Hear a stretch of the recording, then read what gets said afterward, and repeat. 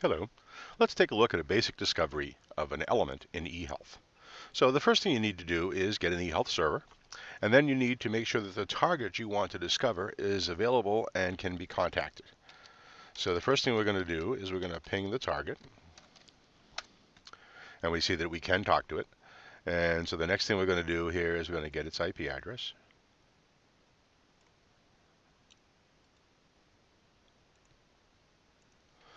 Okay, so now we have a target and we have an IP address for that target, and we know that we can talk to it through ping. Um, next, we're going to go to the eHealth one-click, and the first thing we're going to do is we're going to look at our elements, and we see that we actually have no elements. This is a lab box, and so by doing a search for asterisk, um, anything that's in here would be shown, and we see that we have nothing. So the next thing we're going to do is we're going to go into element configuration, resource discovery, and policies. Now, in order to discover something, you have to build a policy.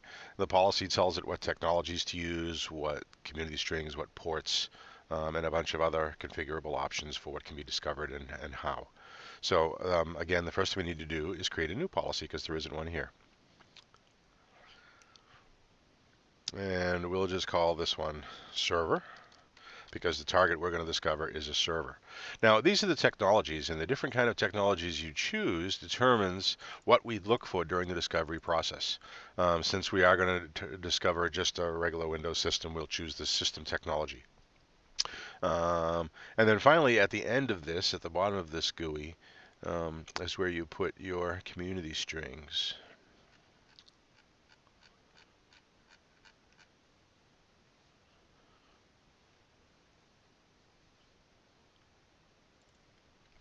So we've chosen our technology, we've given it a name, and there really isn't much else in here that we really want to set. So we're going to say OK, and we'll save that.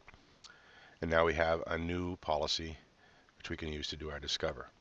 Okay, and the, the policy name is server. The technology that's involved in this particular policy is just system. You could use a variety um, depending on what you were trying to discover. The next thing we're going to do is we go to the Discover tab. And um, here there are a couple of options. We can do an IP address range. Um, we can do an IP address list from a file, and if you browse to that file, and the file includes the IP address, um, the string, and the port, you can use that as a seed file if you would, so that you wouldn't have to type everything here. You could type it all at your desk or import it from a spreadsheet or what have you, and that way you could cover a large range at the, um, all at once. Um, you can use the strings in the file, or you can use the strings that are set by default in the um, community, I mean in the policy.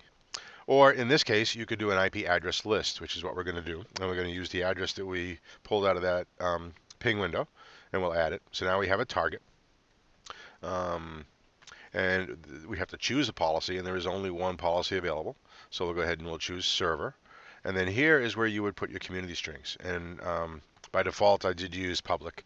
Um, if you were going to put multiple strings in here, you would comma separate them, and the discovery will try them in the order that they're listed uh, until it hits a match or fails to successfully talk to the target.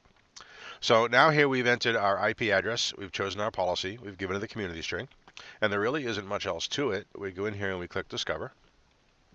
Now by default, we will ping the target first, and there is actually an environment variable that allows you to shut that off if you wanted to, but in most cases you don't.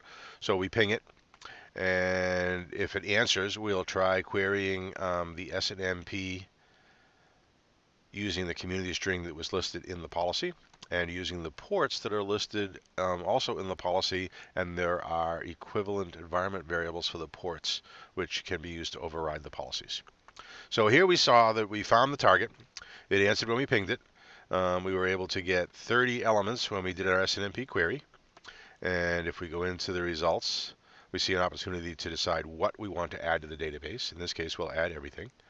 And then if we go into the log and we'll see exactly what went on, it pinged it, it SNMP queried it, um, it classified it, what have you. So now that we've got 30 elements, um, we're going to come over here and we're going to save the results. And you'll see it's doing a merge in the top right corner. So what that's doing is it's taking the information that it's in this discover log and it's putting it into the database and creating permanent elements um, and we see here in the top left, the discovery results are saved, and this is now finished. We'll close the discovery. We'll come back over here to our Managed Resources tab, look at Elements, And again, the default filter of asterisk um, is there. And what we end up with is we now have 30 lovely new elements, all with the system name of Area 01, which was the name of the machine I discovered. And we see all the different components that were exposed by the MIB. So we've got an 8-core CPU, we've got the server itself, um, we've got disks and Ethernet ports and what have you, um, symbolic links and what have you. So that's basically the gist of a discovery, and I hope that was helpful. Thank you.